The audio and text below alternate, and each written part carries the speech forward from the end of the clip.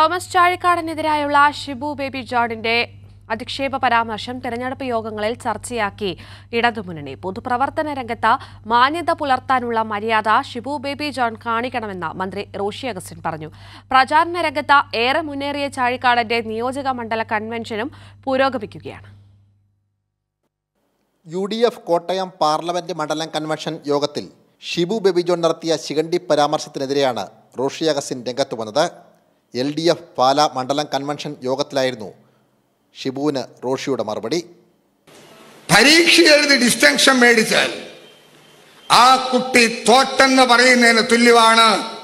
കോട്ടയത്ത് U D എഫിന്റെ convention നടത്തിയ പരാമർശനം.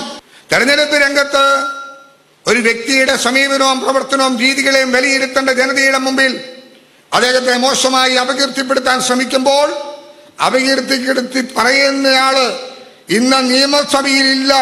തെരഞ്ഞെടുക്കപ്പെട്ടിട്ടുള്ളവരല്ലായിരുന്നു എന്നുള്ളതും കൂടെ കൂടി ചേർക്കുന്നത് ആവശ്യമായിരിക്കും. തെരഞ്ഞെടുപ്പ് പ്രചരണ രംഗത്ത് ബഹുദൂരം മുന്നേറാൻ തോമസ് ചാഴികാടന് കഴിഞ്ഞിട്ടുണ്ട്. മണ്ഡലം കൺവെൻഷന് ശേഷം നിയോജക മണ്ഡലം കൺവെൻഷനുകളും പൂർത്തിയാവുകയാണ്. ഏറ്റുമാനൂർ നിയോജക മണ്ഡലം കൺവെൻഷൻ മന്ത്രി വി എൻ വാസവൻ ഉദ്ഘാടനം ചെയ്തു. പൗരത്വ ഭേദഗതിയിലൂടെ ഇലക്ട്രൽ ബോണ്ട് കേസ് മറയ്ക്കാനാണ് കേന്ദ്രം ശ്രമിക്കുന്നതെന്ന് വി എൻ വാസവൻ പറഞ്ഞു.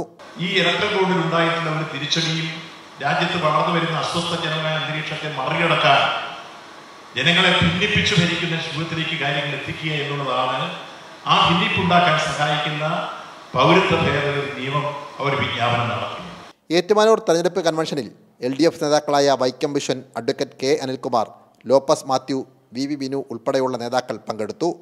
സാംജിത് ആർപ്പുക്കരയ്ക്കൊപ്പം സനോജ് സുരേന്ദ്രൻ കൈരളി ന്യൂസ് കോട്ടയം.